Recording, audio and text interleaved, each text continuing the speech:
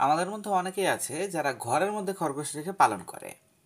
তো সবার যেহেতু আঙিনায় বা বাড়ির ছাদে জায়গা নেই, সেক্ষেত্রে অনেকেই ঘরের মধ্যে পালন করে। আর এই প্রশ্নটা আমাকে মাঝে মাঝে জিজ্ঞেস করে যে, খরগোশ কি ফ্যান থাকা অবস্থায় রাখা যাবে কিনা? বা খরগোশের জন্য ফ্যান ক্ষতিকারক কিনা? ফ্যানের বাতাস কি খরগোশের জন্য ক্ষতিকারক কিনা? এক কথায় উত্তর হলো না। দেখুন, আমি আমার খরগোশটাকে কিন্তু ফ্যানের নিচে রেখেছি। ইভেন আমি এসি চালু করা অবস্থায় রুমের মধ্যে খরগোশ রাখি। কোনো সমস্যা হয় না, তবে আপনাকে কিছু নিয়ম মেনে চলতে হবে, তাহলেই হবে। তো আসুন, আমরা সঠিক অ্যান্সারটা পেলাম যে হ্যাঁ আপনি খরগোশকে ফ্যান আছে এরকম জায়গায় বা ফ্যানের বাতাসের নিচে রাখতে পারবেন, কোনো প্রবলেম নেই। কিন্তু কথা হচ্ছে, কী ধরনের শর্ত রয়েছে, এটা জেনে নেই। তো প্রথমত খরগোশ কিন্তু খুব আরামপ্রিয় প্রাণী আর ওরা কিন্তু কোনোভাবেই অতিরিক্ত গরম সহ্য করতে পারে না। ওদের শরীরে অস্বস্তি ধরে যায় বা একেবারে হাঁপাতে থাকে, আপনি দেখবেন বারবার মুখ টুক নাড়াচাড়া করে কাঁপছে। তো এই অবস্থায় আপনি নিজেই বুঝবেন যে আপনার খরগোশটাকে একটু ঠান্ডা জায়গায় নেওয়া প্রয়োজন বা ফ্যানের নিচে নেওয়া প্রয়োজন। তো এক্ষেত্রে এই যে তীব্র দাবদাহ চলছে, এরকম গরমে অবশ্যই আপনি আপনার খরগোশকে পারলে ফ্যানের নিচেই রাখবেন। নর্মাল খোলা জায়গায় না রেখে বা খোলা জায়গায় রাখলে এটা ভালো বিষয় যে আপনি খোলা ছেড়ে পালছেন একরকম।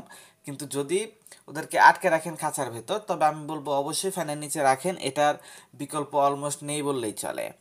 তো এখন কথা হচ্ছে কী ধরনের নিয়ম মানতে হবে?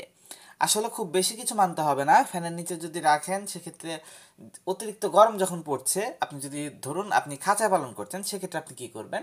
অতিরিক্ত গরম পড়ছে, আপনি ফ্যানের নিচে রাখলেন ঠিক আছে, সমস্যা নেই। কিন্তু খাঁচাটা আপনি ওইখান থেকে সরাচ্ছেন না। ধরেন রাতের দিকে একটু ঠান্ডা পড়ছে। এই অবস্থায় ডাইরেক্ট বাতাসটা লাগলে ওদের একটু প্রবলেম হতে পারে।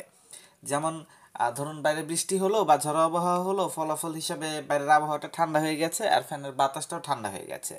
এরকম হলে কিন্তু ওদের ঠান্ডা লাগার একটা সম্ভাবনা থাকে।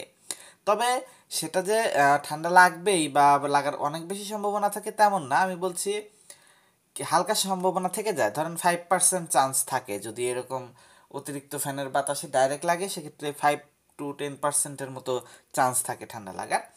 এক্ষেত্রে আপনি রাতের টাইমটাতে ওদেরকে ডাইরেক্ট ফ্যানের বাতাসের নিচে না রেখে একটু সাইডে রাখবেন। যেমন আমি ঘরের মধ্যে রাখলে ঘরের একটা কর্নারে রাখি, যদি ওদেরকে এভাবে রাখতে চাই সেক্ষেত্রে। তো এটুকু মেনটেন করলেই হবে। ডাইরেক্ট ফ্যানের বাতাসের নিচে যখন ঠান্ডা ঠান্ডা থাকবে, তখন না রেখে একটু সাইডে রাখবেন। আর যদি দেখেন এরকম অস্বাভাবিক গরম, তিরিশের উপরে তাপমাত্রা, তিরিশ চল্লিশের কাছাকাছি তাপমাত্রা, তবে অবশ্যই ফ্যানের নিচে রাখবেন। এর কোনো বিকল্প নেই। দেখুন, আমার এটা কিন্তু হলো লিডার খরগোশ।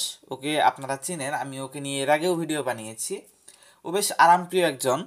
তো ব্যাপারটা হচ্ছে ওকে আমি দেখছিলাম, ছাদে যখন ছিল বেশ হাঁপাচ্ছিল।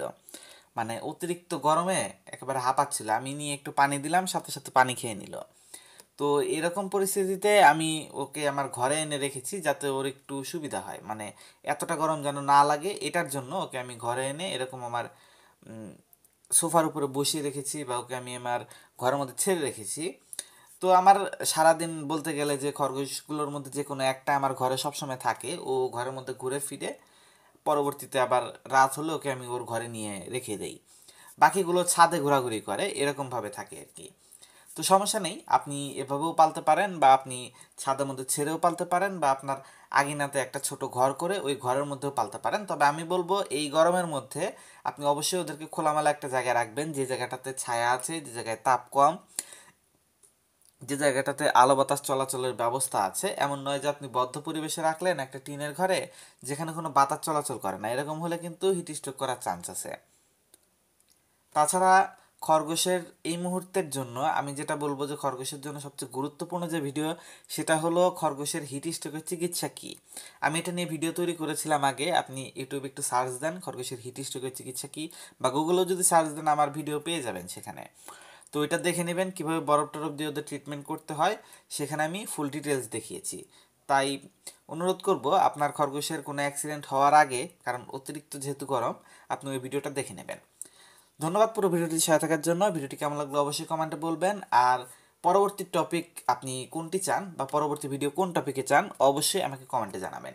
পুরো ভিডিওটিতে সাথে থাকার জন্য অসংখ্য ধন্যবাদ।